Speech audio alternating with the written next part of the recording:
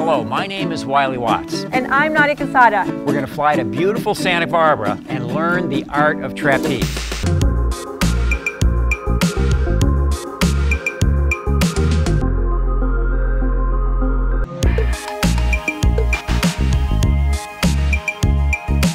He's gonna come and say, gotcha. You're gonna hold them back and release the legs right away.